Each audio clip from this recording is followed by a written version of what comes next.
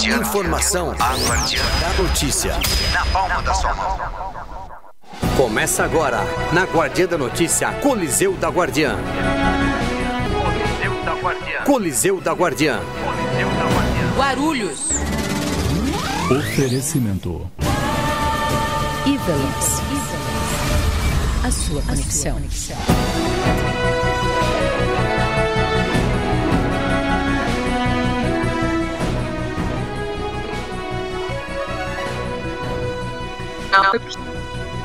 Ia ser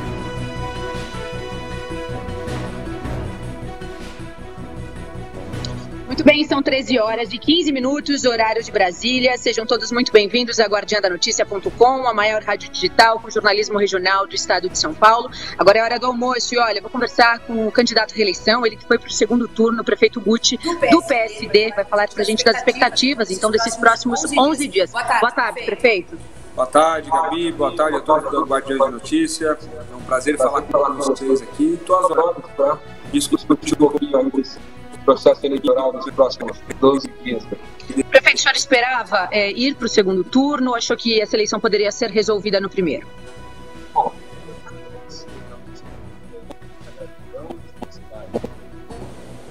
para a eleição, qual eu venci, a população escolheu, comparar o primeiro turno também agora deste pleito, a gente aumentou bem saiu de 208 mil votos para 260 mil votos logo no primeiro turno. Então, é muita gratidão mesmo e felicidade. Agradeço ao Guarulhense que está escolhendo a gente. A gente venceu o primeiro turno e, se Deus permitir, com a tua ajuda, com a ajuda do Guarulhense, a gente vai vencer o segundo turno para continuar a reconstrução que a gente tanto precisa da nossa cidade.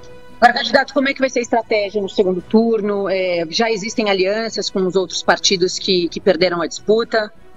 Olha, o que a gente quer é o Guarulhense dentro do nosso projeto. Lógico, de 2000 eu venci a situação guarulhense para a primeira democracia, é impossível você vencer poder administrativo, poder né? administrativo sem, sem aliança. A gente vive, a gente vive em um estado ao qual, ao qual você tem coalizão, coalizão para governar. governar. É, é, ontem, ontem um, um, candidato, candidato né? Né? que não, não foi para o segundo turno, Eduardo Barreto, Barreto se declarou, se declarou, né, né, declarou, apoio a nós, já parece, parece que já tem declaração, declaração também, também ao, PT, ao PT, enfim, então, então outro candidato, obviamente, então o Eduardo, Barreto declarou, declarou a nós, e a gente fica, feliz, sabe, sabe, e sempre, assim, assim, dessa forma, né, as pessoas, as pessoas e agora os candidatos escolhendo, escolhendo a gente que sabe que a gente tem o melhor, o melhor projeto. A gente, a gente não, refuta não refuta nenhum tipo, nenhum de, apoio, tipo de apoio que seja um apoio condizente com as nossas, nossas ideias, ideias, que seja um, seja um apoio benéfico para Guarulhos.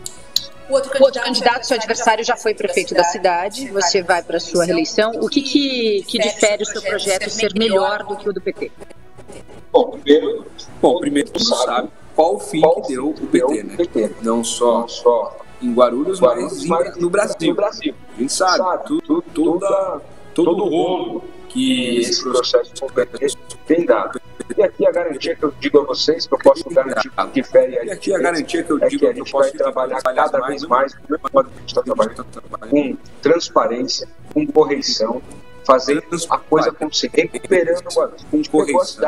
Destruído. Recuperando Guarulhos. Deixou a cidade a maior dívida é, da, de, todas, de todas as cidades do estado, per capitamente, falando, falando, por habitante, foi eu foi que recebi, eu lá, que recebi lá em 2017. Mais de 7 mais bilhões, de 7 bilhões, 7 bilhões e 400 milhões. Então, a gente sabe, a gente sabe, muito temos muito trabalho pela frente, e a recuperação, e a recuperação é, gradativa, é passo a passo. É, prefeito, o que você acha que vai fazer a diferença, então, neste segundo turno? O que o guarulhense quer? Olha, o que vai fazer a diferença é o que já fez a diferença no primeiro turno, né? A gente teve é, 45%, um pouquinho mais de 45% dos votos. E o que vai fazer, que vai fazer a diferença é, é levar com transparência, com humildade, humildade, que a gente quer continuar, reconstruindo, reconstruindo. O que a gente quer, continuar, fazendo. Deixar, a cidade muito, mais, mais é, é, organizada, organizada, não só não financeiramente, mas a sua infraestrutura, da melhor, melhor qualidade. Então, então o Guarulhense, o sabe, sabe que a gente tem essa condição, condição pessoal, pessoal aí que Guarulhos tem essa plena, tem essa plena convicção que a gente está fazendo, tá fazendo, a reconstrução. A reconstrução. Então, então, o que vocês, que podem, esperar esperar da gente neste segundo neste turno? turno? Uma campanha uma limpa, como a gente fez no turno, uma campanha, uma campanha justa, uma campanha, de ideias, ideias propositiva, comparando, comparando projetos. projetos. É isso que eu esperar. Não vai ter, não vai ter baixaria desse lado aqui, jamais. jamais.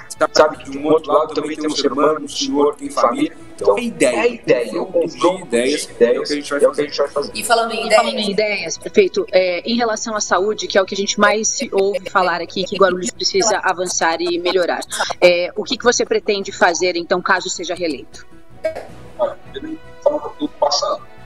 Pegou Guarulhos, como eu disse, uma enorme. Só de medicamentos, a gente devia, né, quando, quando mais de 70 milhões de reais em medicamentos. Graças a Deus a gente conseguiu equalizar isso e essa falta de pagamentos gerou aí, gerou aí mais de mais 60%, de desabastecimento de remédio na nossa rede. Hoje, hoje a gente normalizou. Hoje a gente está próximo a 100%, que nunca é 100%, a gente não pode afirmar. Está muito próximo, está muito próximo, 97%, né, porque tem a reposição no dia.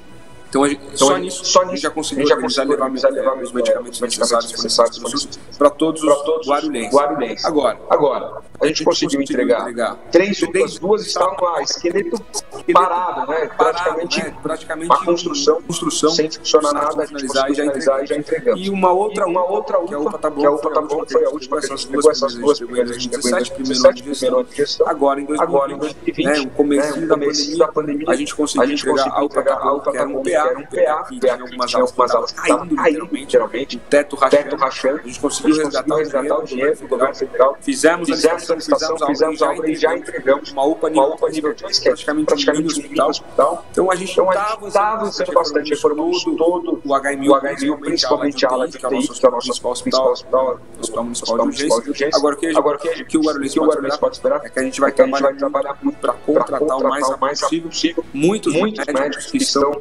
faltantes na nossa rede, faltantes na nossa rede, melhor as UBS. Já temos aí é, uma garantia do governo federal, que é até uma garantia do governo federal. Um mês, um mês, máximo, máximo mês, está chegando tá mais 20, 23, 24 médicos para a gente conseguir destacar para as nossas estados de saúde, são médicos da família, da mas mesmo assim, mas mesmo assim a gente tem aí a previsão de fazer uma situação boa de médicos, de profissionais da saúde, para conseguir melhor atender o Guarulhense. O Guarulhense. Rapidamente, rapidamente falando, também, falando, nós temos a previsão de, de construir, na verdade, na verdade as, as liberações, liberações é, da operação, é, operação financeira, com o governo federal, para construir um novo, novo hospital, hospital da criança, da criança, o HC, o HC né, que é o hospital, né, é o hospital da, criança Guarulhos.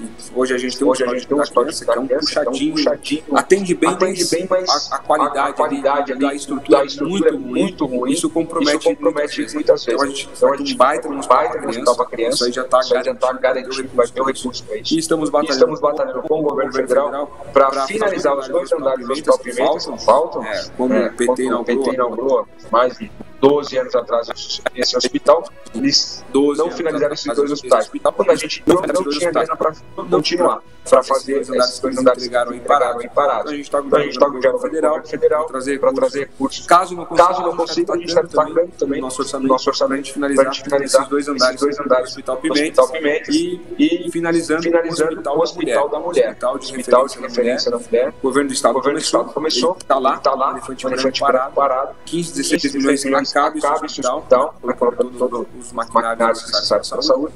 E aí, a gente consegue pegar também um hospital referência da mulher. Basicamente, isso, isso é, é, o que a gente vai perseguir nos próximos passos para entregar para o Guarulhos. Para a gente encerrar, todo mundo sabe que a arrecadação vai cair para o ano que vem. Você já disse que pegou uma cidade completamente endividada. Como é que vai ser o desafio caso você seja reeleito?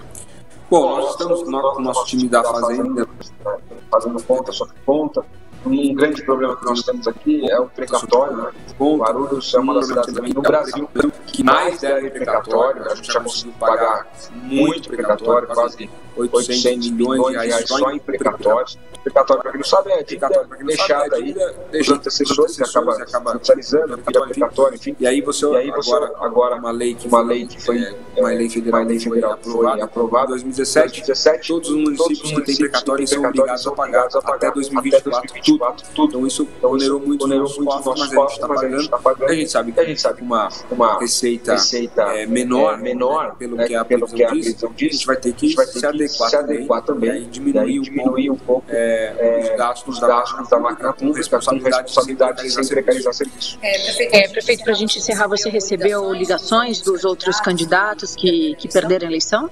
Olha, eu, Olha, eu quase todos, quase todos né, parabenizando, parabenizando, na verdade eu que liguei, parabenizando, parabenizando independente, independente do, do, do, candidato, parabenizei, parabenizei pela coragem, coragem de se colocar no processo eleitoral, não, não é fácil, ainda mais no momento que a gente vive, parabenizei muito pela votação que tiveram, a gente sabe o quanto é difícil disputar uma eleição e ser bem votado, então eu liguei para eles e parabenizei.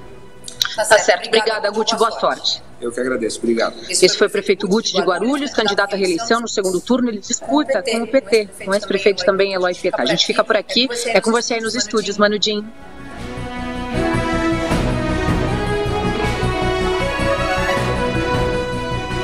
Música e informação na palma da sua mão.